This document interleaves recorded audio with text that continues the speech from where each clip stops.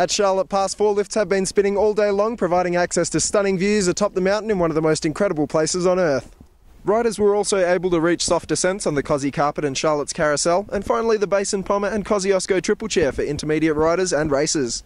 The snow conditions were truly lovely, with a dry and soft surface broken apart by this morning's intense grooming efforts, which saw the runs of Easy Starter doubled in length. The sunshine crept through every little while, but mostly cloudy cover dominated the skyline for a large portion of the day.